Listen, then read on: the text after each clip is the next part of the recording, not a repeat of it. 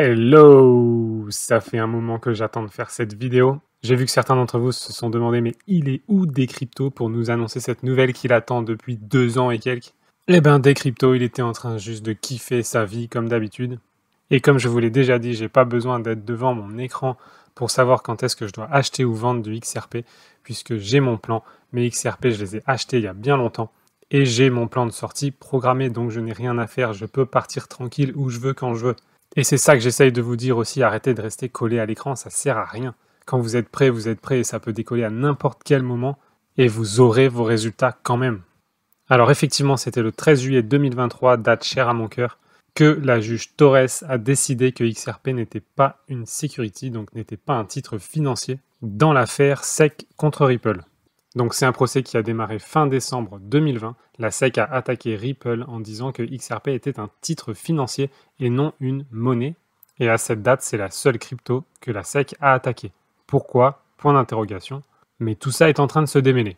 Alors dans les détails, ça reste quand même une semi-victoire, dans le sens où effectivement les XRP ne sont pas considérés comme des titres financiers pour tout ce qui a été vendu sur le marché secondaire. Ce qu'on appelle le marché secondaire, c'est le marché des échanges des crypto-monnaies. Typiquement, ce qui va s'échanger sur les échanges centralisés, comme Kraken, Binance, ou les échanges décentralisés, comme Sologenic par exemple, qui ne requiert pas un système centralisé pour faire vos échanges. Pour les nouveaux, un système d'échange centralisé, c'est un site internet en gros, où vous allez devoir amener votre argent, qu'il soit en euros, en XRP, en crypto, en quoi que ce soit, sur cet échange. Et à ce moment-là, vous amenez votre argent dans un portefeuille qui est sur l'échange centralisé. C'est-à-dire que là, il ne vous appartient plus. C'est votre argent, mais possédé par l'échange. Si l'échange décide de fermer ses portes, vous l'avez dans l'os. Donc ça, c'est un échange centralisé, sur lequel vous pouvez faire des échanges entre n'importe quelle devise standard ou crypto. Un échange décentralisé comme Sologenic va fonctionner directement sur votre propre portefeuille. C'est-à-dire que là, vous n'avez plus besoin d'envoyer votre argent sur une plateforme centralisée pour faire l'échange. Vous connectez simplement votre portefeuille sur la plateforme décentralisée et vous pouvez faire vos échanges directement depuis votre portefeuille. Dans ce dernier cas, vous possédez tout le temps vos crypto-monnaies. Donc ça, c'est ce qu'on appelle le marché secondaire, et heureusement, ça va être le plus répandu des marchés. Et pour ça, le XRP a été déclaré comme n'étant pas un titre financier, donc n'étant pas une security en américain. Et le XRP est maintenant libéré de ça. Alors cela dit, tous les XRP qui ont été vendus ou offerts par Ripple à des investisseurs institutionnels ou à des partenaires sont pour l'instant considérés comme des titres financiers. Et dans ce cadre-là, il est fort possible que Ripple prenne une amende et que les patrons de Ripple soient poursuivis par la SEC. Ce ne sera pas très grave, de toute façon, ça fait déjà plus d'un an et demi qu'on parle d'une amende et que Ripple devra payer une amende.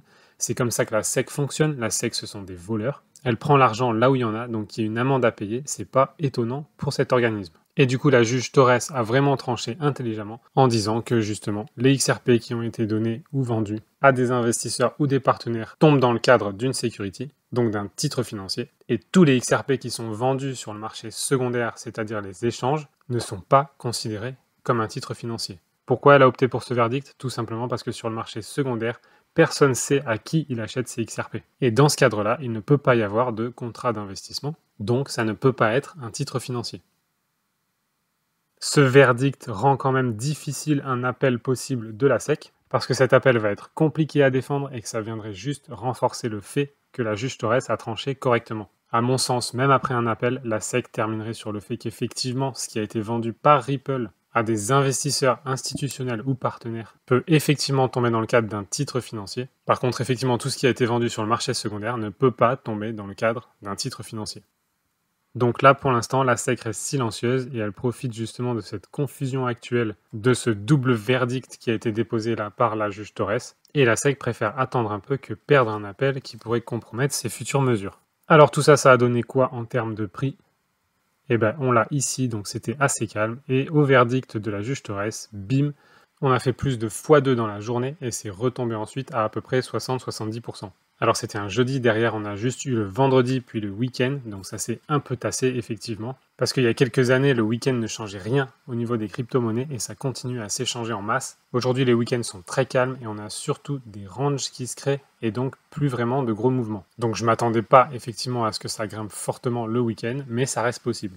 Donc ici on a creusé et on est quand même bien remonté et ici on est à cette résistance.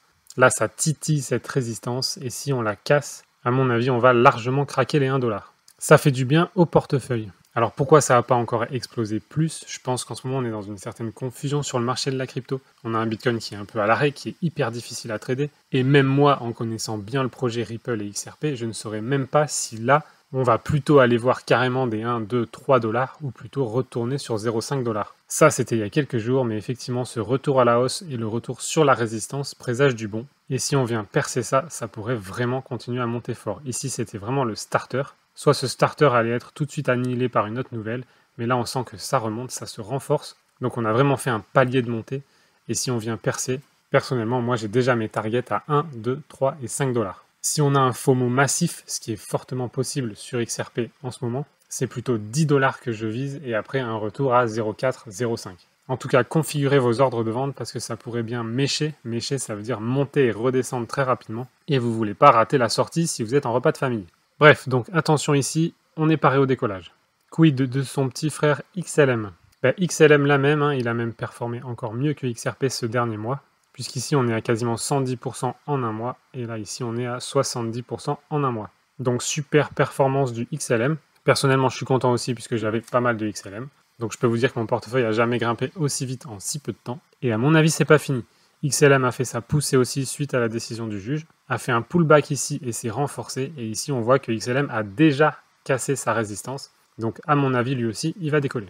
Je rappelle la différence, XRP et XLM ne sont pas concurrents, ils sont complémentaires, ils n'adressent pas le même marché. XRP adresse le marché des banques, le marché des institutionnels et les échanges transfrontaliers, là où XLM s'est positionné sur le fait de renforcer la finance et les échanges financiers dans les pays qui n'ont pas accès à tout ça aujourd'hui. Donc c'est deux marchés très complémentaires qui fonctionnent main dans la main puisqu'on sait que XLM est basé sur une techno similaire à celle d'XRP et que le patron actuel de XLM était un ancien de Ripple.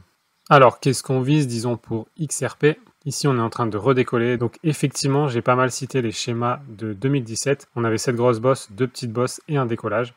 Ici on a eu la grosse bosse, deux petites bosses et un décollage. Ça peut être un pur hasard, ça peut être un schéma qui se répète, le passé n'a jamais prédit l'avenir, mais en tout cas, on a quelque chose qui se dessine, une montée et un verdict qui libère XRP. Alors au plus haut, XRP est monté à 3 dollars et il y avait clairement moins de monde dans la crypto, clairement moins de développement et moins d'institutionnels sur le coup. Donc je pense que là, si ça décolle et qu'on a un vrai FOMO, c'est-à-dire que tout le monde se jette dessus par peur de rater le train, à mon sens, on devrait dépasser les 3 dollars sur ce coup-là. Alors justement, quelles sont les chances que le prix du XRP atteigne de nouveaux sommets historiques après la victoire? Ça reste difficile à dire, mais les points clés, ça va être que XRP a effectivement plus que doublé en une seule journée. Il est actuellement sur une zone de résistance des 1$, hein, il a rebondi à 0,95$. Donc il y a clairement de toute façon un plafond des 1$, et on n'en est pas loin du tout, et ça se renforce. Tous les indicateurs sont au vert. La dominance du XRP a largement augmenté, celle du Bitcoin a diminué. Et le 13 et 14 juillet, on a eu des volumes de XRP qui ont dépassé largement ceux du Bitcoin et de l'Ethereum. Il est fort à parier que si on vient casser cette résistance, on va remonter en volume, on va passer devant, et ce qui me ferait vraiment super plaisir, c'est de retourner à notre place numéro 2, juste derrière le Bitcoin, devant l'Ethereum, place qu'on mérite si on n'avait pas eu cette plainte avec la SEC. Alors maintenant, où en est-on par rapport à l'entrée en bourse potentielle de Ripple, qui avait dit effectivement qu'il rentrerait en bourse quand cette histoire avec la SEC serait terminée? Où en est-on? Ça ressemble effectivement à la prochaine étape normale dans le processus de Ripple en ce moment. On a eu une victoire de Ripple sur les marchés secondaires, donc qui libère complètement l'utilisation de XRP dans la nouvelle finance. Certains échanges ont déjà relisté XRP, donc ça veut dire que sur beaucoup d'échanges, donc ça veut dire que sur beaucoup d'échanges centralisés aux US spécifiquement, il n'était plus possible d'acheter du XRP. Maintenant, c'est à nouveau possible. La prochaine étape logique de Ripple serait l'entrée en bourse. Pourquoi? Ben Justement pour permettre de fournir à Ripple un afflux de capitaux massif en entrant en bourse, ce qui va renforcer à la fois sa crédibilité et à la fois son pouvoir d'action sur le monde de la finance. Alors il n'y a encore rien de confirmé, ça a été dit que effectivement une fois le procès terminé, Ripple entrerait en bourse. Personnellement je vois plutôt ça pour septembre-octobre, mais on verra. À mon sens, Ripple sera le prochain Amazon. Je pense que l'action Ripple va exploser. D'autant que là, on a une entrée en bourse après les emmerdements avec la SEC. Donc c'est juste la liberté totale. Si vous voulez savoir comment acheter des actions Ripple avant l'entrée en bourse, c'est dans ma précédente vidéo que je vous remets ici en haut à droite. Et petite parenthèse, pour ceux qui aiment bien critiquer sans même se renseigner, l'auto-accréditation qui est possible en Europe pour acheter les actions Ripple sur Link2 C'est pas un papier qui permet de mentir sur votre situation. C'est un papier qui existe pour simplement dire que vous connaissez les risques et que vous êtes responsable de votre investissement. Et qui vous permet de ne pas donner toutes les informations à propos de vos finances. L'auto-accréditation, c'est un choix que j'ai fait aussi parce que je n'ai pas envie de donner mes informations financières. Fin de la parenthèse. Alors, autre question, c'est effectivement les comptes séquestres XRP de Ripple. Là aussi, rien n'est fait, ça reste des rumeurs. Mais un ancien directeur de la SEC déclare qu'il est raisonnable que le juge Torres verrouille à jamais les comptes séquestres XRP de Ripple. Qu'est-ce que ça veut dire? Aujourd'hui, on a sur XRP 52 milliards de XRP qui sont sur le marché, en circulation. Et il y a une offre totale de 100 milliards de XRP. Il en reste donc 48 milliards qui ne sont pas encore sur le marché. Et c'est ça qu'on appelle les comptes séquestres. Je vous avais donné plusieurs issues possibles pour ces comptes séquestres. La première, c'est qu'effectivement la SEC récupère ou le gouvernement américain les récupère et les bloque à tout jamais. Et la deuxième, c'est justement que le gouvernement américain les saisisse pour justement s'en mettre plein les poches. Donc pour l'instant, tout ça, ça reste des rumeurs, mais là, on est un peu entre les deux. Et on ne sait pas encore si effectivement les XRP vont juste être bloqués, supprimés, brûlés, ou tout simplement volés par le gouvernement US pour se faire des couilles en or. Qu'est-ce que ça veut dire pour nous Quel que soit ce qui se passe, ce sera une bonne nouvelle, puisque là, on avait encore 48 milliards de XRP qui auraient pu diluer notre investissement. Donc si je parle en chiffres clairs, ça veut dire que si aujourd'hui Ripple décidait de mettre les 48 milliards de XRP restants sur le marché, bah, le prix ferait divise 2. Si ces 48 milliards de XRP sont brûlés ou bloqués et ne peuvent pas aller sur le marché, alors le prix ne sera jamais dilué. Donc ça, c'est une excellente nouvelle dans tous les cas. On verra ce qui sera décidé. Donc la SEC va-t-elle faire appel ou est-ce qu'elle va lâcher l'affaire? Donc à mon sens, tout peut arriver maintenant. C'est clair que la bataille n'est pas finie puisque même si on a une victoire sur le marché secondaire, il va falloir décider de ce qui se passe et des amendes à payer sur les marchés des investisseurs et que deviendront les comptes séquestres. Pour l'instant, donc, le président de la SEC, Gary Gensler, n'a pas caché sa déception et il dit bien que déçu de ce qu'ils ont dit au sujet des investisseurs particuliers, donc le marché secondaire, nous continuons d'examiner la question et d'évaluer cette opinion. Donc ça semble dire qu'ils veulent faire appel sur la décision du marché secondaire, mais à mon avis, ils vont dans un mur, donc je pense qu'ils préfèrent attendre et à mon avis, ils feront pas appel sur ce marché secondaire. À suivre. Et donc, il n'a pas fallu longtemps après la décision de la juge et cette victoire de Ripple pour que des échanges comme Coinbase, Gemini, Kraken, Crypto, Bitstamp, BitGo remettent XRP dans les échanges et ainsi permettent au marché américain de racheter du XRP. Et XRP a été aussi relisté sur le marché LCX, dont j'ai déjà parlé. Donc le but de LCX, c'est de tokeniser les marchés et de pouvoir trader les marchés boursiers comme on traite des cryptos. LCX a aussi une crypto-monnaie et j'y vois un bel avenir dans cette technologie. Donc que des bonnes nouvelles, XRP est relisté, le prix monte, le prix se renforce. On est à deux doigts de casser une résistance majeure qui pourrait bien nous envoyer loin. De plus en plus d'échanges relisent XRP et donc de plus en plus de gens peuvent se ruer sur XRP quand il va décoller. Dès qu'il va craquer sa résistance. Là, on est juste à un moment où l'élastique est en train de se tendre. Et à mon sens, il n'est pas en train de se tendre vers le haut. Si ce que je viens de dire fait de la confusion pour vous, prenez un élastique, tendez-le vers le bas, lâchez-le et vous verrez ce qui se passe. Et alors, comme si ce n'était pas une merveilleuse coïncidence, FedNow, donc le nouveau service de transfert interne et externe aux États-Unis, devait être lancé le 1er juillet. Il a finalement été retardé et sera lancé le 20 juillet, c'est-à-dire aujourd'hui. Et comme par hasard, la décision du juge arrive quelques jours avant la date repoussée. Alors c'est peut-être qu'une coïncidence, mais si on analyse bien le projet, et je l'ai déjà fait dans des vidéos précédentes, on voit qu'il y a effectivement un partenariat stratégique entre Ripple et FedNow via le service Volonté.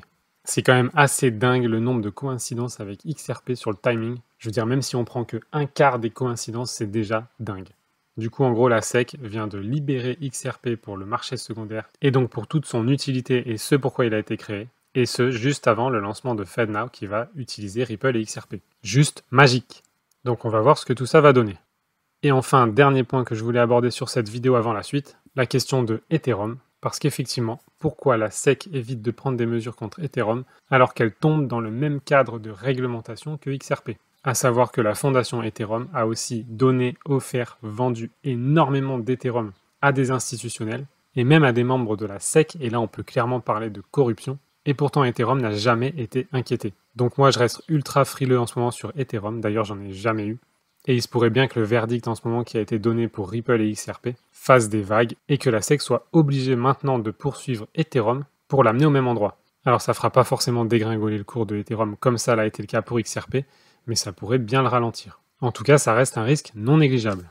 Il faut savoir qu'à ce jour, il n'y a que XRP qui a été libéré de la SEC. Bitcoin a l'air intouchable et a priori la SEC ne l'attaquera jamais, mais il n'y a que XRP qui a été libéré. Toutes les autres cryptos peuvent potentiellement être emmerdées. Maintenant, il y a une jurisprudence qui vient d'être donnée grâce à Ripple et XRP, et un tas de cryptos pourraient avoir le même verdict, à savoir OK pour les marchés secondaires, mais des grosses amendes pour tout ce qui a été distribué à des investisseurs comme si c'était des contrats d'investissement. À suivre, positionnez-vous bien.